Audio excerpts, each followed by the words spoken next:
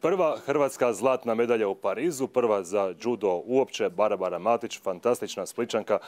Barbara, do sada dva svjetska zlata, jedno europsko. Je li ovo zapravo ništa novo ili ipak nešto posebno? Pa ipak je nešto posebno, olimpijsko zlato. Mislim da je to olimpijska medalja sam svakog sportaša, pogotovo zlato i stvarno jedan san koji se ostvario. Na bruncu ove godine mislim da je ovo zlato samo šlag na kraju.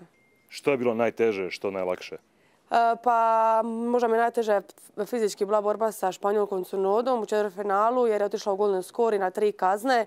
Mislim, inače naše borbe tako izgledaju i znala sam da će to biti teška borba, a psihički možda prva borba protiv stare neugodne prijateljice Kim Pauling koja se nastupa za Italiju i inače imam negativan skor protiv nje i to mi je bila odlučujuća borba hoću li ostati u turniru ili će ispast, tako da, ali vrlo sam je lako i brzo riješila, tako da je taj dio, kad smo bili gotovi, pa je kamen sa srca, smo mogli lakše nastaviti.